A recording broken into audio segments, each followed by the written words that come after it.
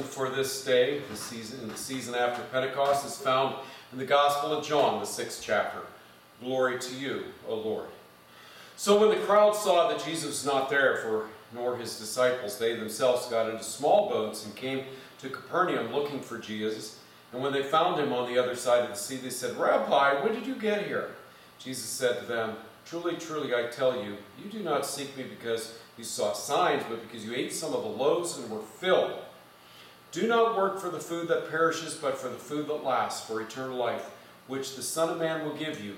For on him the Father God has set his seal. Therefore they said to him, What are we to do, so that we may accomplish the works of God? Jesus said to them, This is the work of God, that you believe in him and whom he has sent. So they said to him, What are we what are you doing as a sign? so that we may see and believe you. What are you performing? Our fathers ate manna in the wilderness, as it is written, He gave them our bread out of heaven to eat. But Jesus said to them, Truly I tell you, it is not Moses who has given you the bread from heaven, but it is my Father who gives you the true bread out of heaven. For the bread of God is that which comes down out of heaven and gives life to the world. Then they said to him, Lord, give us this bread always. Jesus said to him, I am the bread of life. One who comes to me will not be hungry, and the one who believes in me will never be thirsty. The gospel of our Lord. Praise to you, O Christ. Let us pray. Heavenly Father, bless us with this word today that we might be transformed in Jesus' name. Amen. well, interesting change of events here. We are now in the Gospel of Mark, or jump out of the Gospel of Mark for a few weeks for the month of August and into the Gospel of John. And so I've kind of succumbed, I'm giving in. But that's because these lessons do kind of echo what we learned in last week's lesson about the feeding of the 5,000 and uh, what Jesus wanted to do. That was the lesson that we were, were reading last week.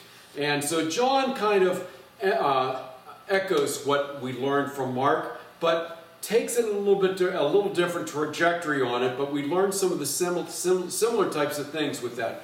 But with that in mind, during the month of August, we are asking everyone who comes to worship to bring at least one canned good or more every single Sunday with you as a sign of God's love. It will make more sense as we go on through this month of August and we look at these bread of life lessons, how we are called to be God's hands and feet in the feeding of this world, both literalistically and figuratively through Jesus Christ. So, like I said, lectionary alert, we've left Mark.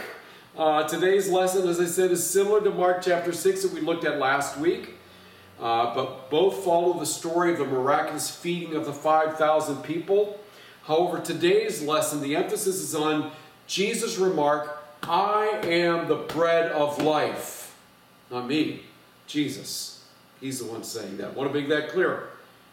Such a remark would not fit into Mark's account, and there's a reason why. Remember, Mark never tells us who Jesus is. Not ever. He shows us who Jesus is by his actions. And so that's why I don't think Mark includes these uh, I am the bread, I am statements. But in Mark, John is a little more forceful. He's more in your face. He just tells you straight out this is who Jesus is. This is who Jesus claims to be. So let's look at temporal material and materialistic signs. John, the gospel writer, uses the bread of life lessons in a similar way that Mark uses the miracle stories. So remind yourself again how Mark uses healing stories and miracle stories.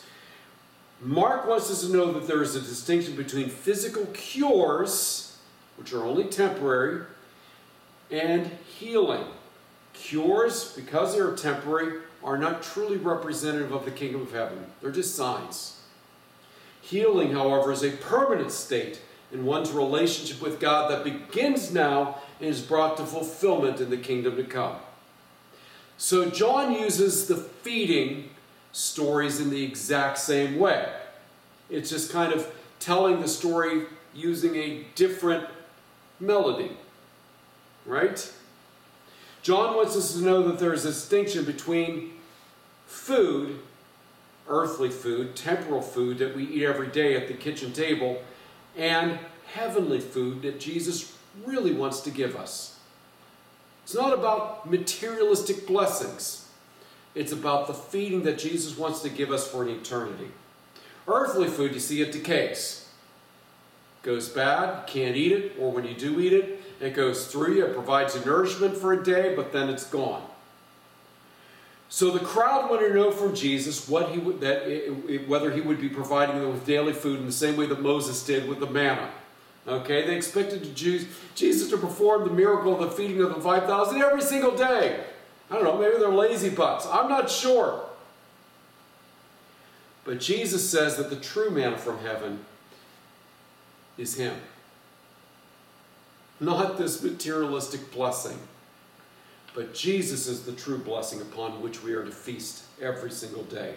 And those who feast upon Him will always be satisfied, even if their bellies, even if they go to bed hungry at night in their bellies. So, this lesson serves as a commentary on the feeding of the 5,000. Jesus is explaining what he's doing. The feeding of the 5,000, that's no great shakes. It's just a simple little common everyday miracle. Who cares? It's temporary, it's gone. It's just like physical cures. Oh, I've been physically cured of cancer. Good for you. You're still going to die, right? Jesus wants something permanent for us that nothing, not even death itself, can take from us. He is the thing that He gives of Himself to us, that thing that cannot be taken from us. So, in this case, it is not clear, if it's not clear yet to you, there's more going on in the mass feeding than meets the eye. And that's what John is trying to do in this lesson for today. Jesus did not come to tend to our materialistic blessings, which is wrong with every single church that talks about this message of the prosperity gospel in the United States of America. They have got the wrong focus. If you are watching churches that are preaching prosperity gospel, turn them off because they do not represent Jesus Christ. Jesus Christ doesn't care about these materialistic blessings like these churches do. Now, it doesn't mean that he's indifferent about your needs. But these materialistic churches have really confused the gospel. They're totally baffled and clueless about what Jesus is trying to preach. Miracles are simply signs that point to a bigger truth. That's all they are. And not everybody's going to get a miracle in their life. So, Jesus' food is that which transforms our relationship with God. It's a metaphorical food. It's Jesus himself. We feast on Jesus. So in the Gospel of John, over these next courses, these next few weeks during the month of August, these bread of life lessons are another means of communicating that healing and restoration that God offers to humanity begins with Jesus Christ and is a daily blessing that is given to us day by day.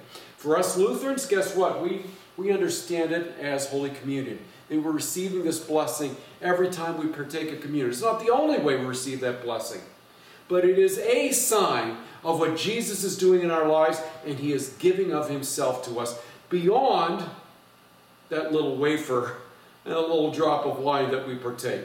There's something more that Jesus is giving to us. It's not just simply think about Jesus. Jesus is actually giving something of significance, of eternal value to us when we partake of this holy meal.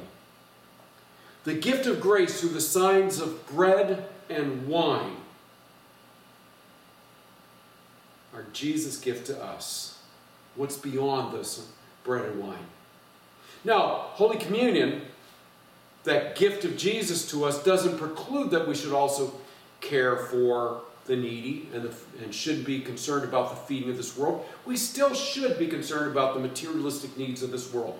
Remember, Jesus did feed the 5,000 for the purpose that they were hungry, and if they were going to continue to hear Jesus and what he was trying to preach to them, those things of eternal value, their bellies needed to be fed. And so I am convinced that every thing that we need to make sure and guarantee that every human being on this planet has three square meals a day, we've got at our fingertips. The fact that there are people starving to death, guess whose fault that is? It's ours. not God's fault. God has given this world everything it needs to feed every man, woman, and child. We're just greedy, selfish pigs. Some people think they need billions and billions of dollars in order to survive, I guess. Right? So while the gift of reconciliation of God is the primary purpose of Jesus in these bread of life statements, I am the bread of life, is what he says. Caring for the materialistic needs of the world is still in God's purview. He still cares for us.